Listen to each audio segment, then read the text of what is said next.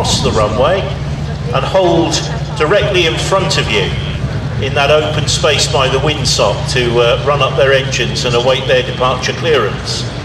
So uh, there'll be a great photo opportunity with those seven aircraft parked up on the other side of the runway.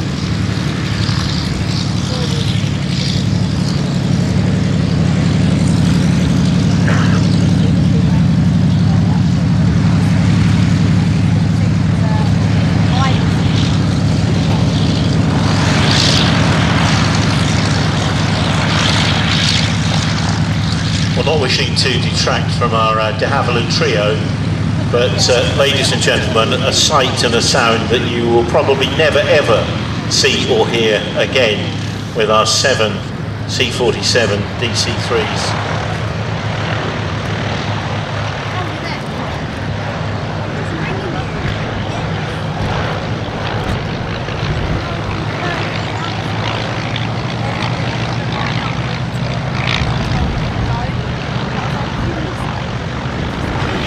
Surviving DH51 in the world and uh, it is the oldest airworthy de Havilland aircraft in the world.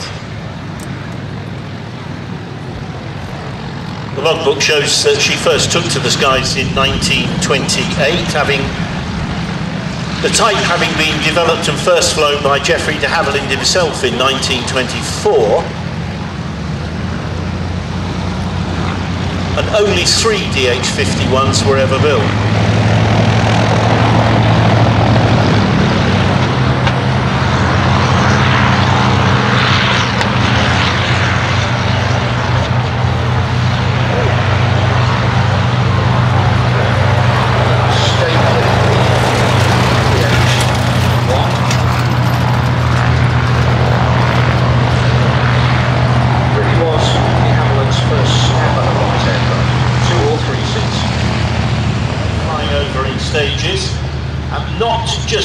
Empty for the ferry flights, but uh, a few lucky people have paid a great deal of money to be part of this experience, uh, to fly the Atlantic in one of these historic uh, aircraft.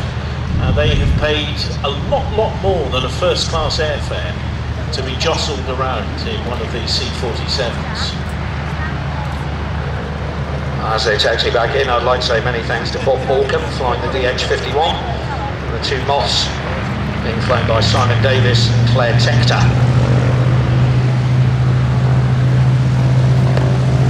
And now, as they say, for something completely different. 1,100 horsepower, sorry, 1,200 horsepower in each engine,